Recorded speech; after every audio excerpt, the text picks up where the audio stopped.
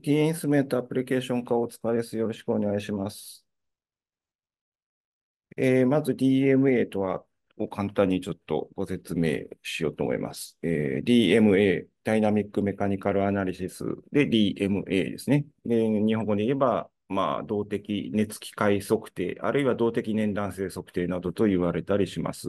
で、この測定は、あサンプルに、まあ、機械的変形を与えて、その応答を見るもの。それを温度、時間の関数などとして測定するものというものです。で、えー、入力として応力を与えて、出力ででの歪みを計測するタイプ。これを応力制御タイプと言いますが、そういうタイプと逆に入力は歪みで、出力は応力ですという形で計測する歪み制御のタイプがあります。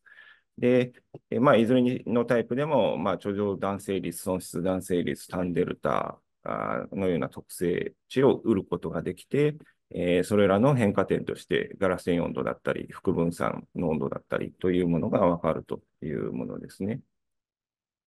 で、まあ、動的年断性測定、え、はこんな模式図ですけれど、えー、横軸がこれ位相ですね。えー、そこに、えー、まあ、赤色のサインウェーブのあの入力を入れるわけですね、サンプルに。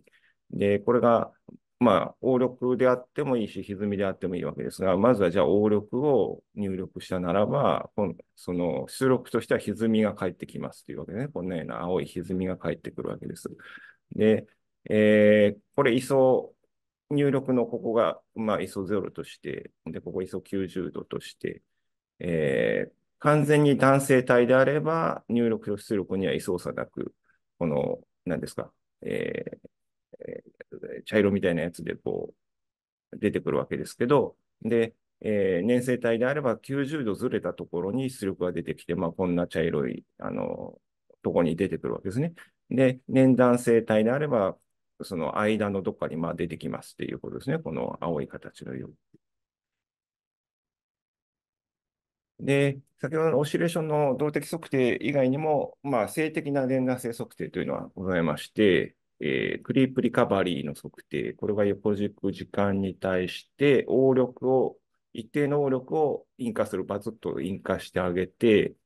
で、その状態で出てくる歪みの、あの、時間に依存して変化する歪みを、あの、観測しますというものですね。えー、で、クリープコンプライアンス、あの、男性率の逆数みたいなもんですけど、えー、を与えた応力に対して時間、あの、時間で変化する歪みを、まあ、応力で割ったもの、が得られますみたいなことですね。で、あとは応力緩和。これは逆に歪みをバツンと与えてあげて、えー、時間とともに、えー、変化していく応力を見ていきますっていうものですね。で、緩和弾性率として、えー、だから与えた歪み、えーえ、その時間で変化する応力を歪みで割ったものを緩和弾性率としてこう得られるというものですね。で、弊社の DMA の装置のラインナップとしては、こんな感じの3種類ございますということですね。で、まずは汎用の応力制御のディスカバリー DMA850 というものがあります。今度は見てくれる機械ですね。え、ディスカバリーシリーズの、えー、一つです。で、えー、これは、あまあ、汎用なんで汎用性が高いよっていうことですね。あの、種々いろんな冷却アクセサリーやら湿度制御オプションなど、いろいろなことができますっていう装置です。で、真ん中のが、これは歪み制御の弊社のハイエンドの DMA になりますけど、 RSA-G2 というものですね。で、だいぶ、850よりはだいぶ大きい機械なんですけど、あの、モーターとトランス硫酸が分離されているものです。上と下にモーターとトランス硫酸が分離されているものです。こちらのやつとかは、モーターとトランス硫酸一体ものなんですけれど、片側だけが、あの片側だけに全部集約されている装置ですね。えーえー、分離されていて、あのモーターの完成の影響がないあのピュアなデータを測ることができますという方ですね。えーまあ、分離されている分あの、お高くなるんですけど、価格は。で、あともう一つの特徴として、あの加熱炉ですね、強制大量オーブンという、フォースドコンベクションオーブンかなんかで FCO と呼んでるんですが、一般的な電熱炉ではないあの、温調済みのガスを炉内に滞留させますみたいな方式のを採用してまして、温度制御のレスポンスがものすごく良くて、サンプルの物温の水準も良くて、炉内に温度勾配はございませんみたいな、あの、優れた炉がついてます。で、もう一つ、あの、 ElectroForce DMA3200 というものがあるんですけれど、えー、これの特徴は、まあ、高荷重です。あのこの装置、もともと疲労試験機をルーツにしているものなんですが、あそれに、えー、DMA 向けに、まあ、いろいろコンフィグレーションした機械なんですが、だから DMA もできるし、疲労試験もできますというような装置になっています。で、えっと、まあ、元が疲労試験装置なんで、モーターの耐久性が非常に高いものになっていて、10年保証ついてますみたいなモーターがついてますね。で、えー、まあ、最大500ニュートンの高荷重かけられますというのが一番の特徴になります。で、まあ、原理的なところわかるような漫画絵ですけれど、えー、まず、えー、応力制御のディスカバリー DMA ですね。えー、これモーターなんですけど、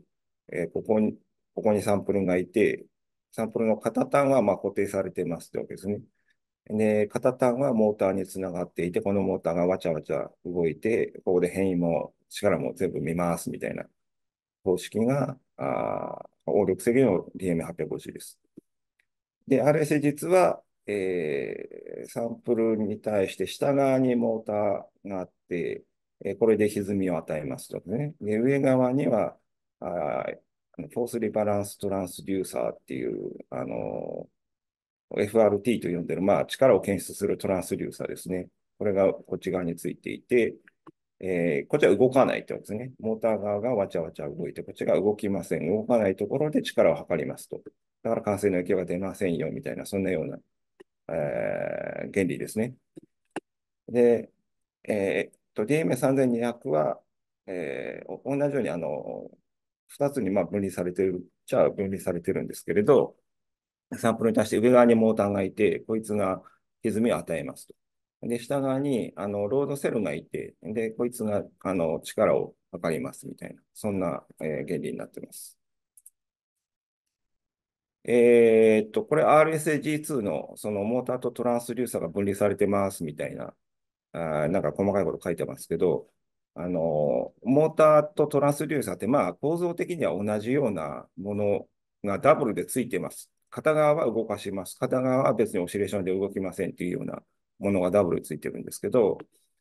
で、えー、っと、だからトランスデューサーは、その、モーターがオシレーションを与えます。トランスデューサーは動かないので、えー、感染や摩擦に影響しない、えー、形で力が測り取れますよという式になるんですね。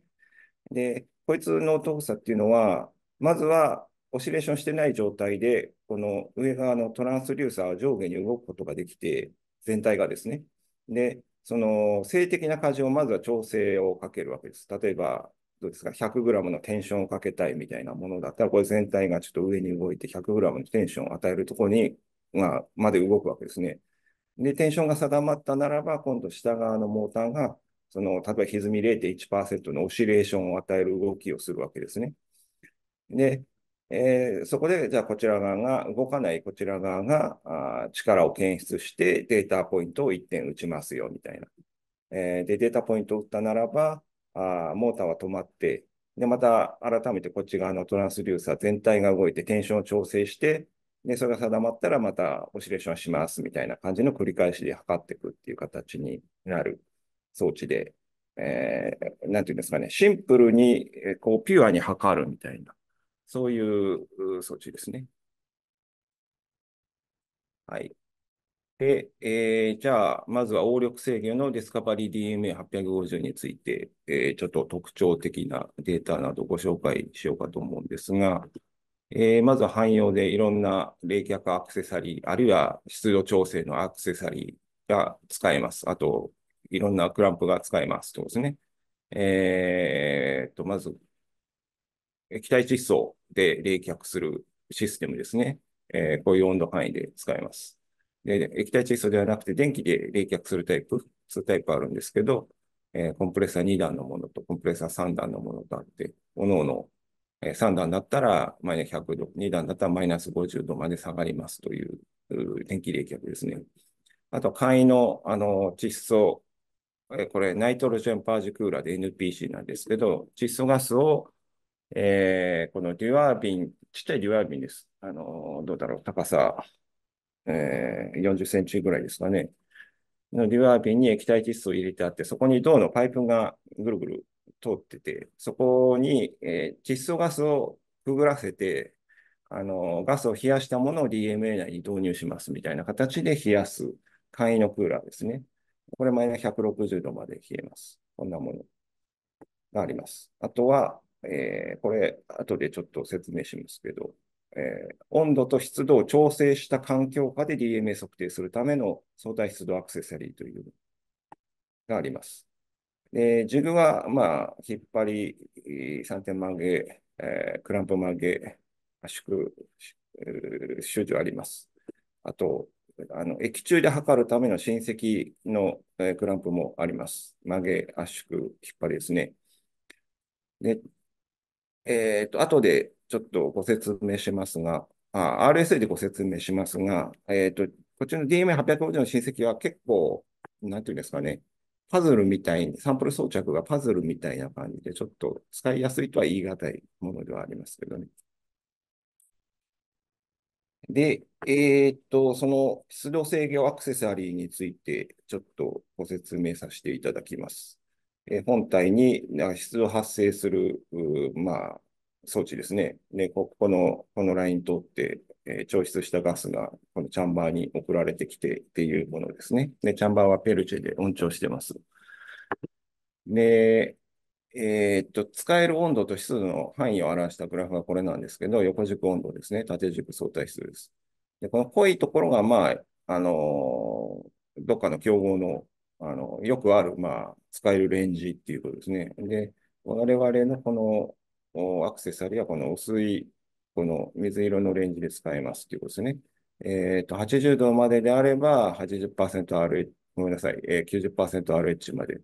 使えます。で、それ以上の温度は徐々に、あの、相対質の上限が、使える上限がこう下がってくる形になりますけど、120度だと 40%RH みたいな、までよみたいな形の領域で、えー測定できるものです。で、えーっと、その水分、吸湿、あるいは放出によるあの機械的特性の変化を測定できますと。で、吸湿で変化する TG も測れます。その変化の様を測れますということですね。あとは、その寸法ですね。あの、吸収して膨張して乾燥して収縮するような、その湿度膨張係数をあ計測することもできます。えっと、標準のあのファナス、あの、高温まで上げる普通のファナスですね。それと、この湿度制御チャンバ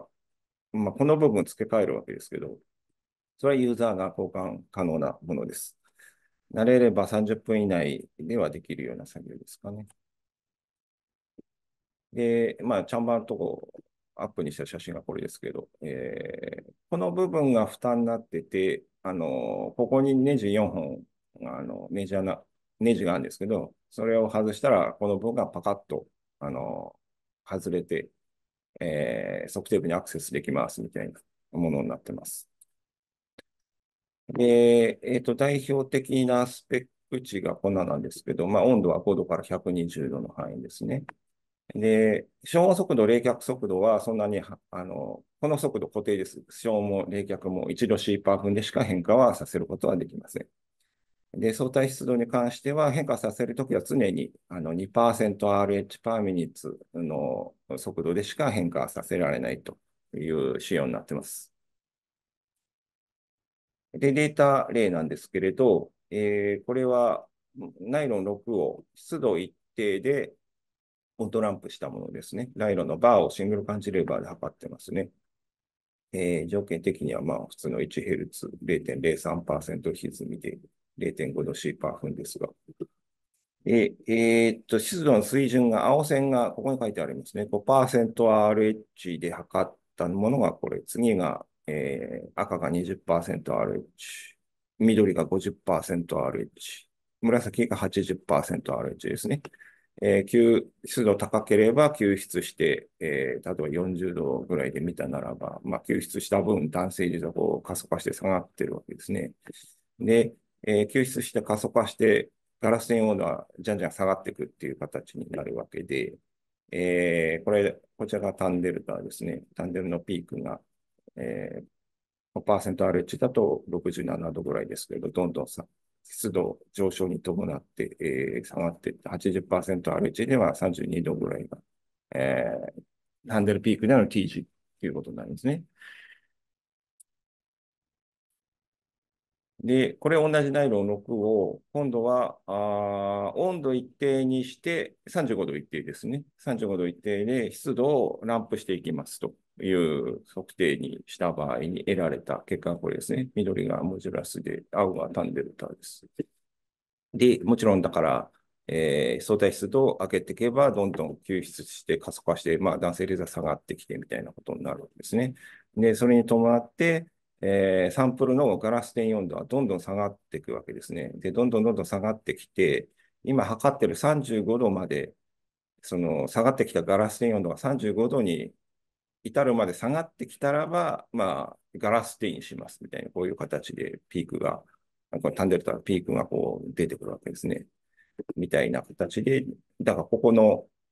今が35度50.6% RH がガラス点に点ですみたいな形でこう取れてるわけです。これはペットフィルムですね。えー、これ湿度一定の温度ランプです。えー、湿度は3水準、0、40、80%RH ですね。えっ、ー、と、青がストレージモジュラスで、これがだから0で、40で、80ってですね。で、赤がタンデルで、えー、80、40、0です。みたいに、まあ、TG の低下の様が、ペットでも見て取れます。これまあ、ペットで、あの、温度一定湿度ランプしているものですけど、まあ、さっきのナイロンのやつと同じようなもんですが、これ横軸、あの、時間で書いてます。あの、湿度をこうやって開けてって75%で一定にしてますみたいなことをしてるんですけど、で、温度はこの茶色で、あの95度ですね。95度一定で湿度ランプしているものです。で、まあ、どんどん加速化していってみたいな。そしてた、えっ、と、緑はこれ、ロスモジュラスですね。ロスモジュラスのこの辺にピークが出てて、だから、この時間に相当する相対湿度46.62%ぐらいなんですけど、ここはまあガラス点してるポイントだよみたいなことになってるわけですね。で、この絵を出したのは、ここで湿度を一定にしたときに、他のその男性率やタンデルタやらがどんなレスポンスで動く、あの、出来栄えの機械なんだっていうのをちょっと見たんですよね。あの、要は遅れて、あの、その湿度に対してどのぐらい物性値の変化が遅れてくるのか、ピタッといってるのかみたいなところを見てるんですけど、で、湿度一定にしたところから、まあ、ちゃんとほぼほぼタイムラグなく各部整地一定になってて、ああ、なるほど、まあまあ、レスポンスよく測れるもの、装置なんだなというようなことが分かったデータです。えっと、燃料電池セパレーターナフィオン117のフィルムを、えー、湿度一定で温度ランプ、これ、これも引っ張りですね、えー、したものがこれですね。えー、0%RH がえ男性率の単デルタですね。男性率0%、20%RH、60%RH、80%RH ですね。で、でまあまあ、こんな感じで低下してくると。で、単デルタは、えー、青は0ですけど、なんかここにショルダーみたいなのがいますけど、で、20になって、ショルダーがこの辺に来て、60、この辺、80でこの辺って、まあ、何ですか、このショルダーが、あの、低温側にどんどんあの移っていってるような様が観測されましたね。で同じ、あの、ナフィオンを温度一定湿度ランプする測定をしているのがこれです。これ40度ですね。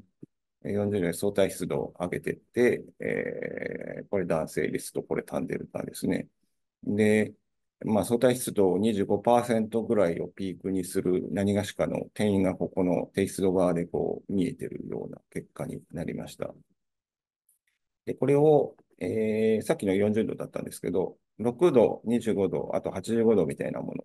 違う測定温度で測ったものを重ね書きにしたのがこの絵ですね。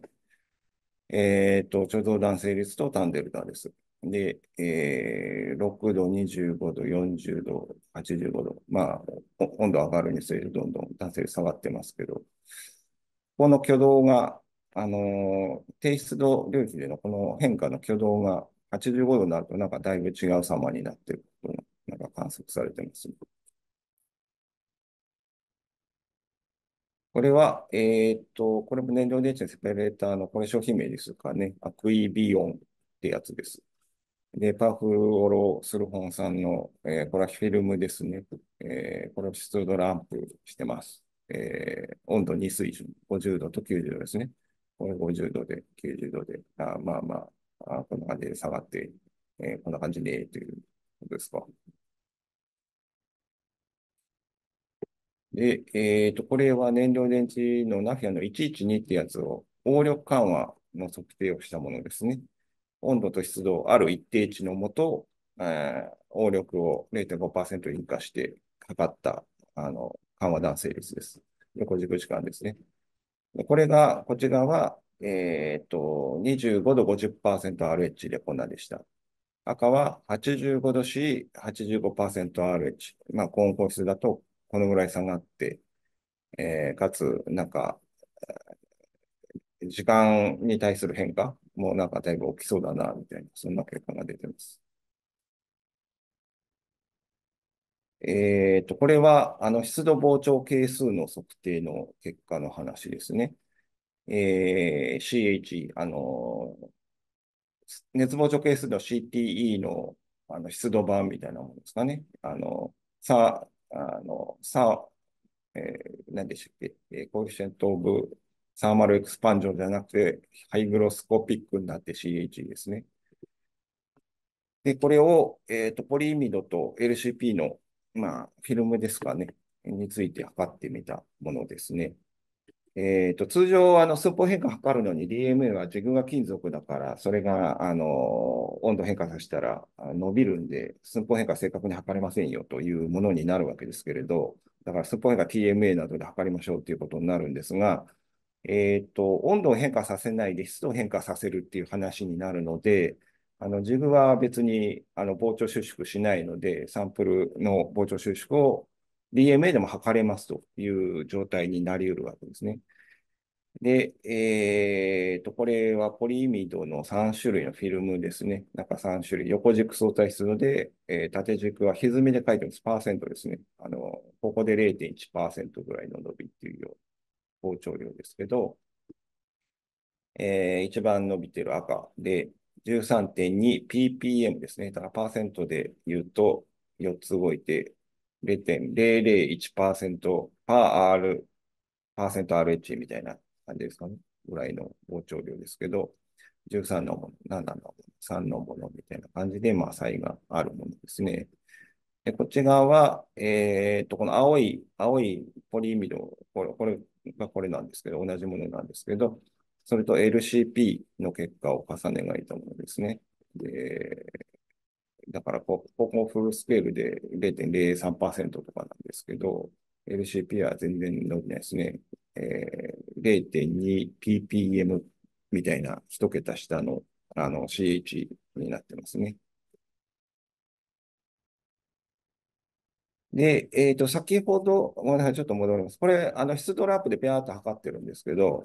これは湿度ステップでちょっと精密に測ろうよみたいなことをした測定です。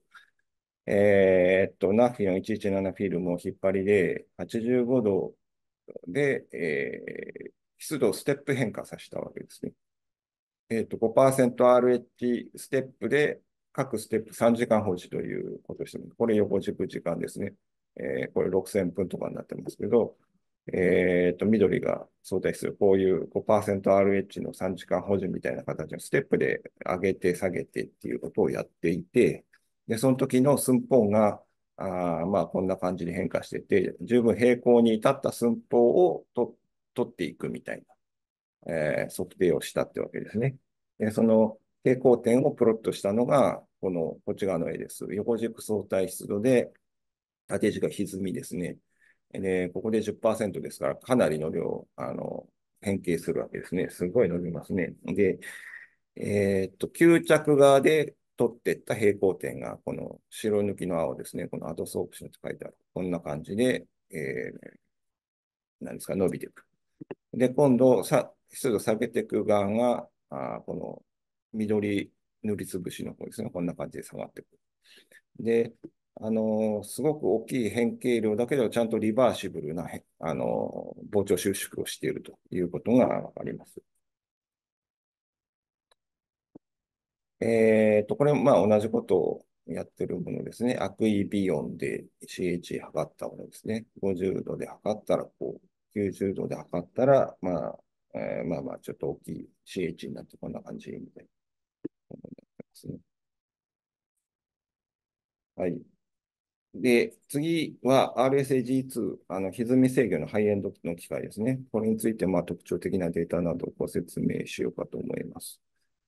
RSAG2 は、えー、まあ、冷却アクセサリーとしては、液地、液体窒素の、まあ、マイナス150度からのこういうアクセサリーと、あと電気のやつですね。先ほどもありましたけど、えー、っと、マイナス100度、あるいはマイナス50度から測れる2タイプの電気冷却器。で、一通りの、あの、ジグと、あと、親戚のジグがこんな感じでございます。で、えー、先ほど、あの、強制対流オーブン FCO というロを持っていて、だいぶいいよっていうお話をさせていただいたんですけれど、えー、っと、まあ、こんな、これ、これがあれですね、今開けてるとこですけど、えー、この非常に容積の小さい、あの、樽型のこの空間に、あの、これ閉めたら、これ測定部の軸ですけど、これがかぶって、中に、あの、温調済みのガスを吹きつけますということですね。あのヒーターでここで温めますではなくて、ここに来る前に温めたり冷却して、すでに目的の温度になったガスをここに吹きつけて、それがこんながぐるぐる対流してますみたいなものになります。で、えー、まあ温度勾配ありませんみたいなですね。で、あのサンプルの物音の追従性も非常に高いです。あの一般的な DMA 測定って早く消音してもどうせあのサンプルの温度上昇がついてこないから、まあ3度 C パー分ぐらいが一般的かねみたいなイメージになろうかと思うんですが、別にそれにこだわる必要はないということになりますね。で、あの、単純にあの、昇降音が速いので、測定前に低温に下げるとか、測定後に室温に戻すとかいうところに所要する時間も大幅に違います。なので、あの、まあ、測定で得られるデータの再現性の面でもそうですし、単純にあの限られた時間で何ランできるのみたいなスループットの面でも、だいぶ実際にあの享受できるメリットはとっても大きい炉になりますね。で、まあ、炉内に温度勾配がないので、そして消音速度変えても、だから、そんなにデータもほぼ変わってこないので、あの、温度構成について考慮する必要がほぼほぼ何もございませんというところが、まあ、使う側の人間にしてみれば相当に魅力的なものだと私は感じてます。で、えっ、ー、と、まあ、なんでしょうね。えー、ここは、まあ、あのガ、ガスとしてはあ空気、空気あるいは窒素をソフトウェアで切り替えられるような仕様になってますね。で、温度範囲は、まあ、最大でこの範囲。で、マックスのクーリングレートは60度 C パー分出ます。で、あこれコン、あの、リニア、リニア、あ、ごめんなさい。リニアのヒーティングレート60度 C パー分まで使えますとですね。で、ヒーティングレートにこだわらない最速のヒーティングあるいはクーリングであれば、このぐらいのオーダーの数字が出るような炉になります。で、温度は、あの、熱電水ではなくて、はっきり抵抗の声で、えー、測られています。で、えー、と、まあ、この、この辺の穴から、あの、ガスがぐるぐる出るわけですね。で、ここに覗き窓があって、で、中に LED ライトもついていて、ライトをつければ、その覗き窓から、あの、目視でサンプルがどんな状態になっているかが見えます。あるいはその窓を、あの、カメラのオプションに取り替えて、あの、データポイントと紐づくあのサンプルの画像をあの取り込むこともできます。で、えっ、ー、と、これが実データですけど、フィルムですね。ブレンド樹脂フィルムとしか漠然と書いてないですけど、50ミクロンぐらいの厚みのものを、異なる消音速度で普通に 10Hz でピューと温度ランプで測りましたというのですね。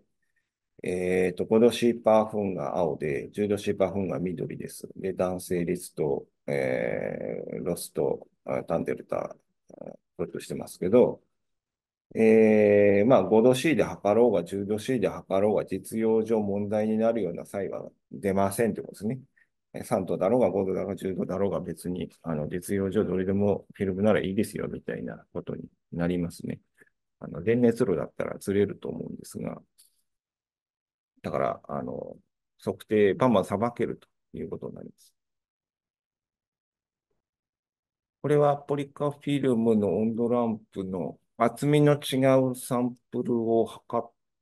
たんですね。30ミクロン、60ミクロン、110ミクロンで。で、ほぼほぼ全部再現性良くて、だから物音の水準も厚みによる遅れなど何もなく、うん、良い再現性で取れますよということですね。で、あとは、その、温度の、その、ロノレスポンスが良くて、あの、目的の温度に、あの、早々と、早々に達するっていうところですね。それで、あの、温度時間換算 TTS してマスターカーブを測る用途ではとても、あの、優れているというお話なんですけれど、これはマスターカーブ一例のマスターカーブですね、周波数、横軸周波数で縦軸弾性率ですけど、えー、と、10の40手前ぐらいの周波数から10のマイナス40ぐらいまでデータがありますけど、えー、だから実際に測れる周波数レンジは、まあこんなレンジなわけですけど、他のレンジのところを測定温度を変えることによりデータを取得して、温度時間換算して、この絵を得ますみたいな話が、まあ、あの、TTS でマスターカーブっていう話になるわけですけど、えーと、これはだから、測れる周波数範囲、0.1Hz から 10Hz までの範囲を、こういう温度で、えー、一定で周波数損因かけてデータをこう取得してるわけですね。これが140度で、えー、これ温度を上げてって、これが100、100、175度ですか。みたいなデータを取りました。そしたらば、温度と時間は10日のもので、高温のものはあ低周波のデータと10日ですみたいな形で、こう、あの、シフトしていくわけですね。こうやってね。あの、高温のものは低周波側にこうシフトしていっていいよと。で、こういうマスターカーブを得ますよみたいなものになるわけですけど、で、これ実際測定するときは、あ横軸時間に対して温度を、まあ、こうステップ上に変化させて、その温度で周波数損因かけて、えー、複数周波数のデータを取ってというのが一番理想的なわけですよね。あの、ちょっと戻りますけど、この、こうやって、あの、シフトしていく、この一連のデータは、あ同じ温度のものであるという前提でこう動かすんですけど、だから、ラン温度ランプで測っちゃうケースもあるんですが、あこのステップで測る方が一番、まあ、正しいわけですね。で、じゃあ、このステップで変化させるときって、あの、ロー自体のその、ハードウェアとしてのレスポンスが良くないと時間かかっちゃって、あの、仕事にならないんですよね。で、あのまあ、これ一例ですけど、電熱炉でやる場合と、その、FC を RSH2 でやる場合とで、ある例だと、温度範囲290度の範囲を4度 C のステップで温度をこうステップ変化させて、あの、まさか各測定をした例では、RS 実は6時間で測定終わりましたみたいになったんですけど、あの、電熱炉の DM850 は19時間所要しましたみたいな、温度の安定に時間かかるからみたいな、えー、ぐらいの差異が出ました。だからまあ、あの、とっても、こういうことをやるには、あの、FC はとっても、あの、便利でいい仕事するものであります。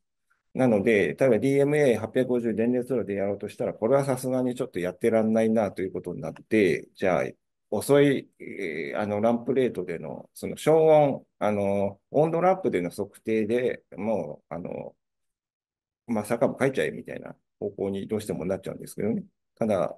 温度ランプでやるよりは、当然、あの、一定温度で素にした方が正確なわけですけど、そんな感じになってきます。で、まあ、今のが、炉の話ですね。で、あと、あの、親戚ジグ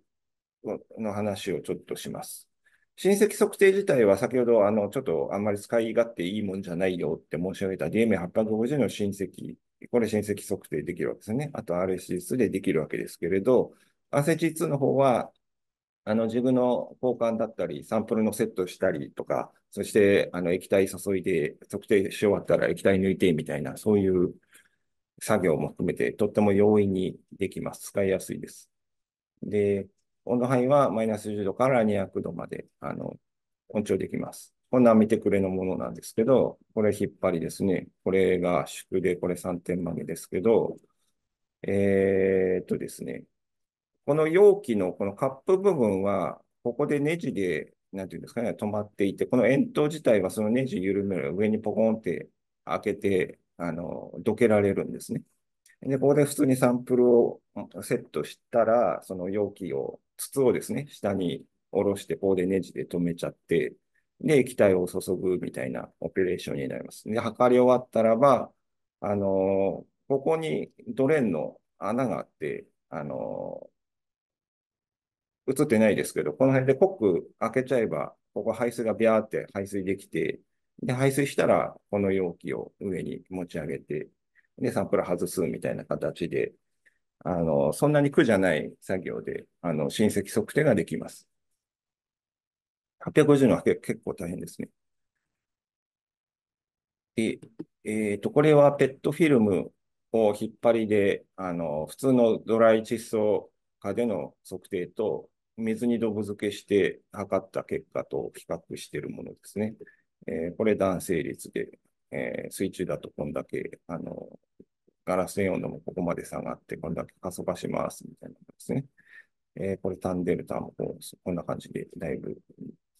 あの、救出して、えー、タンデル下がってます。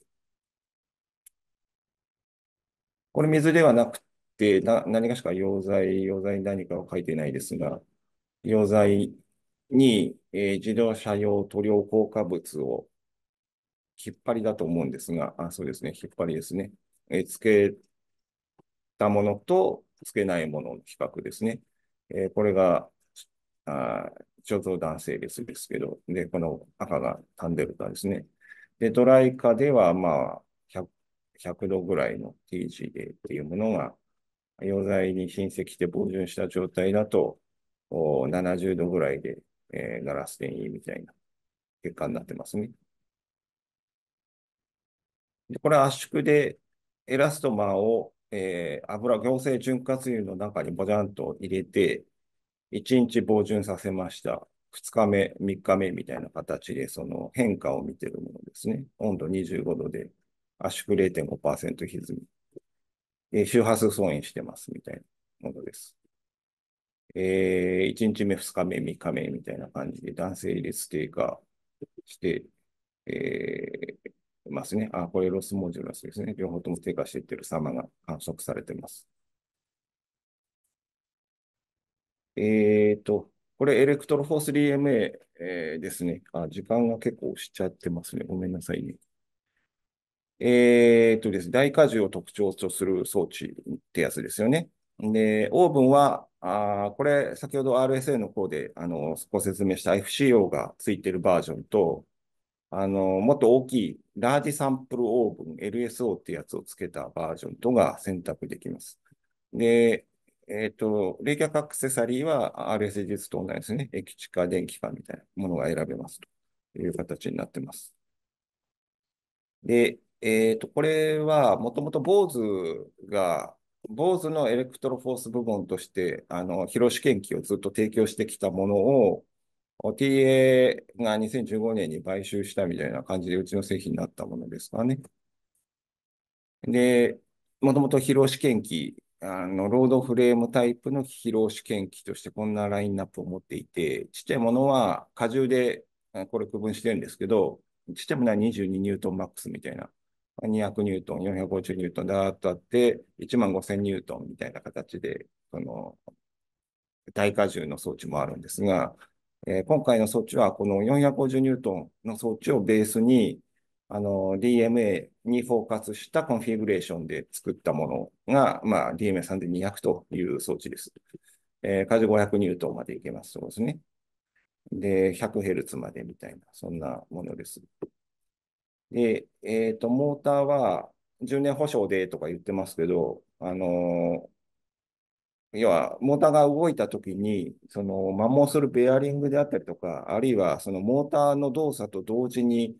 動く壊れやすい電線みたいな、ワイヤーですね、みたいなものがないデザインになっている。から壊れないで、交代級メンテナンスフリーですみたいな、そんなようなことになってるんですけど、えー、っと、まあ、モーターの絵がこんななんですけどね、あのポイポイルの中に永久磁石がいて、それは別にベアリングと配線もなく、あのサスペンションでこう金属の板でこう上下保持されてるんですね。でそれがまあ、こんな感じであの動きます。動くワイヤーもなければベアリングもございませんみたいな、そんなようなあデザインのモーターになってます。で、えー、っと、変異は、ここにあの光学式のセンサーで変異測りますね。で、カジュアルロードセルで、ここにロードセルがいて、ロードセル測ります。で、標準は500ニュートンで、オプションで22ニュートンのちっちゃいロードセルも、あの、ユーザーチェンジャブルで、えー、交換ができますね。で、えー、これはだから、先ほどと同じ FCO バージョン、こんな感じで使えます。でこれでっかいラージサンプル分は、あ20センチぐらいの、あの、広さですね、これに。で、窓で中の様子が見えますよという形で、まあ、でっかい、あの、サンプルなどを測るのには、こちらを選んでくださいっていうものですね。で、冷却はまあ、割愛しましょう。えー、自分もまあ、割愛でいいでしょう。で、データ事例なんで、まあ、何しろ大荷重のことができますよということですね。えっと、これは、えっと、13ミリ幅、だからざっくり10ミリ幅、2ミリ厚ぐらいのそのポリマーの板ですね。これ引っ張りで剥がれますよ、みたいな、そんな例ですね。えっと、これポリカですね。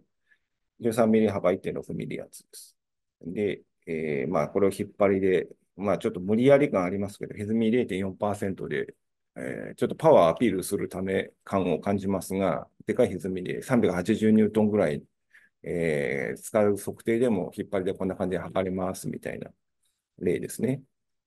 で、まあ、RSG2 でやるんであれば、えー、マック35ニュートンなんで、えー、引っ張りではなくて曲げでやりましょうっていう選択肢にはなりますよっていうことですね。どうしても引っ張りでやりたいニーズってやっぱりあると思うんですけど、えー、結構この大荷重の方であればいけますよということです。これも、まあ、10ミリ幅2.5ミリ圧を引っ張りで測った例ですね。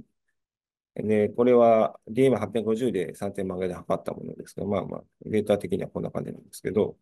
引っ張れますってことです。で、えっと、ゴムの話ですね。えー、フィラー量が2種類、40部と60部のゴム、天然ゴムを、まあ、いろいろなんかやりましたってことですけど、圧縮で、えー、直径10ミリのゴムの円筒を、えー、歪みスイープをかけましたってわけですね。えっと、0.5%歪みから15%歪みまでやってます。でえー、っと、貯蔵弾性率、えー、これが、えー、60部、こっち40部ですね。で、タンデルタがえー、これ60部、これ40部の方ですね。ペイン効果で構造壊れて、みたいな試験をしているわけですけれど、えー、じゃあ、ここまで歪ましたときに、えー、必要だったオシレーションフォースがここに緑が書いてあるんですけど、まあ、60ニュートン近い測定をしてるんですね。オシレーションフォースで60ニュートンということは、トータルのフォースだと静的な力も足すと、あどうですか ?100 何十ニュートンぐらいになりますよね。そんな測定領域まで行けますということです。えーっと、あ、これはまあ曲げで普通に測っただけなんで。えーっと、あとこれはマスターカードを書いてるんですけど、あの、これ FCO ついてるんで、つけられるので、先ほどの RSA と同じような話で短時間であのマスターカード各測定できますよってことです。はい。で、あと、これは、あ硬い、うんと、複合材を測ってる例ですね。えっ、と、ピークで、フィラー話のピークと、あの、ガラスファイバーフィラー、あるいはカーボンファイバーフィラーの入った PTFE みたいなものを、幅ざっくり10ミリ幅5ミリ厚ぐらいのあのサイズ感で測ってるものですね。でまずは、えっ、と、これは PTFE のカーボンファイバーフィラーの板を、これは歪み分散してるんですね。0.01%から1%まで歪み相違してます。で、えー、線形領域、どんな感じか見てるんですね。で、まあ、ここ0.1%ですね。0.12%ぐらい、あまあ、測れるね、みたいな感じになるわけですが、で、その時のオシレーションフォースがこの赤です。で、ここでまあ20ニュートンいっちゃってるんですけど、まあ、この領域はもう普通のあの DMA では力足らなくてできませんという領域になりますね。で、同じことをピークでやったものがこっちですね。で、まあ0.1%ここなんですけど、で、まあ、もうこの領域はもう全然鼻から硬くて、あの、通常の DMA では測れない、変形さ、そこまで変形させられない領域っていう話になります。で、えっ、ー、と、それで決めた0.2%歪みで温度ランプしただけですね、これはね。なんで、これ PTFE ですね。で、これピークですね。だから、この測定はもう、だから0.2%歪みでやってる時点で、だから、あの、全然通常 DM では力足りない、鼻から力足りなくてできない領域の測定でやってますということですね。で、えー、っと、ごめんなさい。これは、まあ、元が疲労試験機なんで、疲労試験普通にできますよっていうデータなんでね、あの、これは割愛しましょう。あと、まあ、静的引っ張りも、あのー、大荷重までいけますよっていう例ですね、これ。あここ450ニュートンですけど、CA CFRP のシート、5ミリ幅0.2ミリ厚ぐらいのあの CFRP をビュートで引っ張り試験、静的引っ張りして、450ニュートンぐらいまで引っ張りましたよ、みたいな、そんな例です。えー、あ、ごめんなさい。はい、あのー、簡単ではございますが、あのー、事例のご紹介でした。えー、終わります。